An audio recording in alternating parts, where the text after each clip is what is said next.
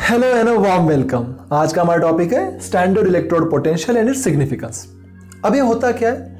मान लो हमें किसी इलेक्ट्रोड का पोटेंशियल फाइंड करना है तो हम जिस इलेक्ट्रोड की बात कर रहे हैं, उसका जो आयनिक सॉल्यूशन लेंगे, अगर वो वन मोलार होगा और एट 25 डिग्री सेल्सियस यानी कि 298 केल्विन पर अगर हम स्टडी करेंगे तो जो भी पोटेंशियल हमें मिलेगा उस इलेक्ट्रोड का, उसी को हम कहेंगे स्टैंडर्ड इलेक्ट्रोड पोटेंशियल अब ये कहाँ यूज़ करना है हमें, कहाँ कैलकुलेशंस में काम आएगा? तो हमारे पास ऐसे सारे के सारे एलिमेंट्स की लिस्ट होगी कि ये हाइड्रोजन का, लिथियम का या फिर फ्लोरिन का ये इलेक्ट्रोड पोटेंशियल है। तो अब हमने एक यूनिजन के लिए सारे के सारे जो वैल्यूज़ दिए हैं, वो रिडक्शन की ले लिए है। रिडक्शन पोटेंशियल लिया जाता है जनरली यहाँ पे। तो अब क्या होगा? अगर हमने फ्लोरिन की बात की तो यहाँ पे आप ध्यान से देख सकते हो कि fluorine plus two electron use to F negative charge.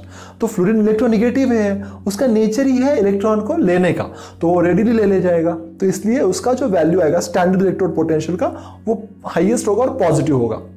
उसके उल्टा, अगर हम लिथियम की बात करें, जो कि एक मेटल है, उसका नेचर लेने का हो ही नहीं सकता, उसको नेचर देने का होगा। उस केस में उसका टेंडेंसी ऑक्सीडेशन का होगा तो उसका रिडक्शन का वैल्यू निगेटिव आ जाएगा। इस तरह से हमें बहुत सारे बीच के एलिमेंट्स मिलेंगे। हमने आइडियल ले लिया है हाइड्रोजन को, उसको एस एच ही बोला जाता है।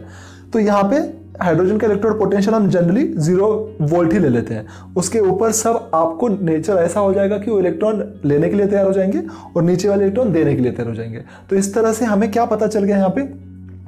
जो यहाँ पे रिडक्शन के वैल्यू दिए गए हैं, वो आपको अगर हमें कैलकुलेट करना है जिंक कॉपर भी ले सकते हैं हम। तो जिंक का क्या हो जाएगा? ऑक्सीडाइजिंग नेचर होगा, जो ऑक्सीडेशन में जाएगा और जो कॉपर है, उसका नेचर हो जाएगा रिड्यूसिंग जो रिडक्शन में चला जाएगा। तो इस तरह से आप इस लिस्ट का यूज़ करके भी वैल्यूज़ समझ सकते हो कैलकुलेशंस कर सकते हो। So that's all about the standard electrode potential thank you